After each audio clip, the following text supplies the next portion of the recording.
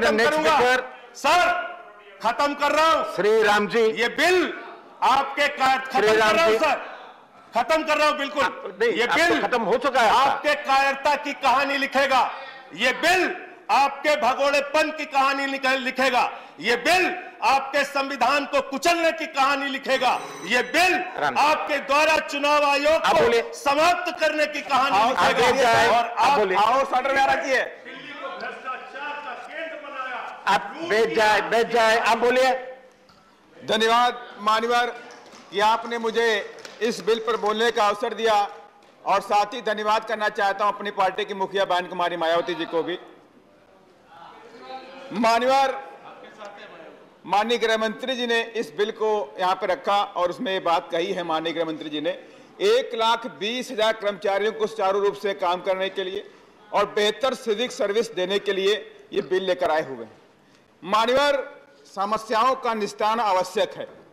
चाहे वो सफ़ाई कर्मचारियों को लेकर हो, चाहे वो दिल्ली की सफ़ाई को लेकर के हो। मान्यवर तमाम रिपोर्टों से, तमाम लोगों से बातचीत करने पर यह मालूम हुआ कि दिल्ली में जो एमसीडी में कर्मचारी हैं, उन्हें पाँच से छः छः महीने की तनख्वाह नहीं मिली। और इसके अलावा मान्यवर रिटायर कर्मचारियों को पाँच से छः छः महीने की पेंशन नहीं मिली है। साथ ही मान्यवर सफ़ाई का काम करने वालों को कोई सेफ्टी इंस्ट्रूमेंट नहीं मिलता है। कोई आधुनिक इक्विपमेंट नहीं मिलता है, जिसकी वजह से दिल्ली के अंदर पिछले पाँच सालों में 300 लोगों ने अपनी जान गंवाई है सीवर और सेफ्टी टैंकों में काम करने पर। इस बात पर भी एक गहन विचार होना चाहिए कि इस समस्या का निशान कैसे होगा। साथ ही मानवर, दुख की बात यह भी है कि आज जो सरकारें हैं प्रॉफिट मेकिंग कंपनी बन करके काम करती हैं। वो अधिकांशा कॉन्ट्रैक्ट बेसिस पे रखती हैं एम्प्लॉइज को रखती हैं। ऐसा काम जिससे मानसिक और शारीरिक तकलीफ़ होती है इस काम को करने से, उनको पाँच से दस हज़ार रुपये महीना सिर्फ़ वेतन मिलता है। अगर उनकी मौत हो जाती है तो उसके परिवार वालों को बेहतर मुआवजा भी नहीं मिलता है। ये ऐसा कई जगह पर देखा गया है। और मान्यवर आपसे मैं कहना चाहता हूँ कि सफ़ाई कर्मी भी हमारी रक्षा करते हैं। तमाम तरह की बीमारियों को भगाते हैं। और खुद तमाम तरह की बीमारियों से वो ग्रसित हो जाते हैं। और इसमें भी एक रिपोर्ट आई है 5 अप्रैल 2022 में इंडियन एक्सप्रेस ने एमसीडी के डाटा के अनुसार कहा है कि 2013 से 17 के बीच में 2400 लोग रिटायरमेंट से पहले ही खत्म हो गए। माने कि वो लोग कभी रिटायरमेंट की एज को पूरा नहीं कर पाए। माने कि तमाम तरह की गंभीर बीमारियों की वजह से उनकी मौत हो गई। उनको बेहतर मेडिकल सुविधाएँ भी नहीं दी गई।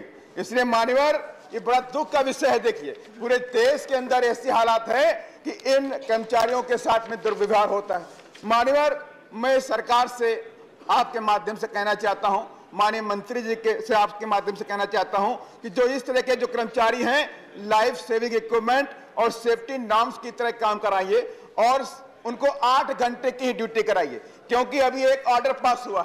ऑर्डर इस प्रकार से साउथ दिल्ली म्यूनिसिपल कॉर्पोरेशन का, कि उसमें कहा गया है 21 मार्च 2022 में कि जो S I S S I और एस के जो कर्मचारी हो गए, वो सात बजे से लेकर रात को दस बजे तक काम करेंगे, हमारे पंद्रह घंटे काम करेंगे। दूसरा ऑर्डर सफ़ाई कर्मचारियों के लिए हुआ है कि सात बजे सुबह से लेकर शाम को पाँच बजे तक काम करेंगे, माने कि दस घंटे काम करेंगे। और इसके अलावा मानवर, ये दुखद विषय है कि जो मानवर इंपॉर्टेंट विषय है, मेरी बात को सुना जाए। मानवर जो टॉयलेट पे एम्प्लॉय लगाए जाते हैं उनके लिए अलग से एक नियम बनाया गया। सुबह छह बजे से लेकर रात दस बजे तक वो टॉयलेट जहाँ पे टॉयलेट का स्टाफ होता है वो काम करेगा। माने सोलह घंटे काम करेगा। अगर 16 घंटों के काम करेगा तो अपने जीवन में कैसे अपना जीवन व्यतीत करेगा? कैसे अपने बच्चों को पढ़ाई लिखाई कराएगा? इसलिए मान्यवर इस पर भी विशेष ध्यान देने की ज़रूरत है। और मान्यवर मैं मान्यवर धन्यवाद। आपके माध्यम से लास्ट पॉइंट है मान्य कि मैं माननीय मंत्री जी से रिक्वेस्ट करना चाहता हूँ।